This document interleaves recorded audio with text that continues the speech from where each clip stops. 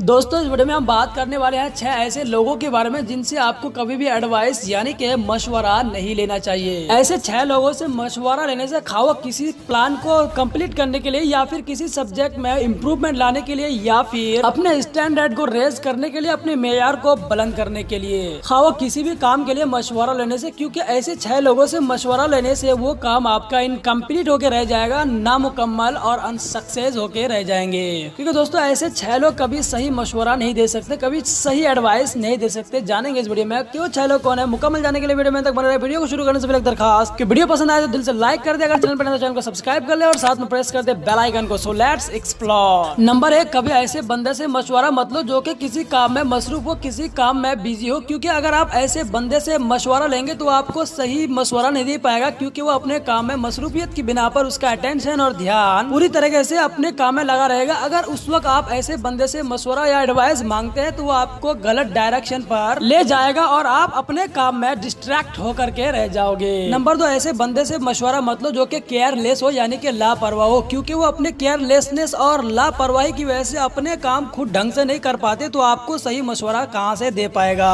और अपेरेंटली पता चलता है कि ऐसे बंदे के अंदर किसी को एडवाइस या फिर मशवरा देने की कैपेसिटी या एबिलिटी यानी कि सलाहियत नहीं होती। नंबर तीन जेलस यानी कि हासिद, यानी कि हसद करने वाला, जलने वाला जो आपसे हसद करने वाला बंदा हो, उससे आप कभी भी मशवरा मत लो, क्योंकि ऐसा बंदा आपके लिए बिगाड़ तो पसंद करेगा, कभी सुधार पसंद नहीं करेगा। यानी कि ऐसा बंदा जो कि जेलस हो, वो कभी नहीं चाहेगा कि उसके एडवाइस से, मशवरा से आपके काम में इम्प्रूवमेंट आए और आप नेक्स्ट टाइम में अपने फ्यूचर में सक्सेस गेन कर पाओ, हासिल कर पाओ। तो दोस्तों, ये तीसरा बंदा है जो की जेलस हो हासिल हो उससे कभी भी मशवरा मत लो, क्यूँकी अगर आप ऐसे बंदे से मशवरा लेंगे तो आपको मिसलीड करेगा, गुमराह करके रख देगा। नंबर चार, ऐसा बंदा जिसके दिल में फियर ऑफ़ गॉड ना हो, अल्लाह का खौफ ना हो, खौफ खुदा ना हो, अल्लाह का डर जिस दिल में नहीं हो, उस बंदे से कभी भी मशवरा मत लो, क्योंकि वो आपको ऐसा भी मशवरा दे सकता है जो आपकी आखिरत को खराब करके रख दे। क्योंकि जो बंदा अल्लाह का खौफ नहीं रखता, वो आखिरत की मनाजिल से भी खौफ नहीं रखता, वो किसी तरह का भी मशवरा दे करके आपको सही रास्ते से हटा सकता है। नंबर पाँच, ऐसा बंदा जो की स्कैड हो, यानी कि खौफ ज़्यादा हो, जिसके दिल में डर बस गया हो, या फिर आप कह सकते हो कि जिस बंदे के अंदर डिप्रेशन हो, उससे कभी भी मशवरा मत लो, क्योंकि वह खुद अपने ही जान का वबाल बन के रह चुका है उस वक्त ऐसे बंदे से कभी भी मशवरा मत लो, क्योंकि वो आपको कभी भी सही मशवरा नहीं दे सकता, क्योंकि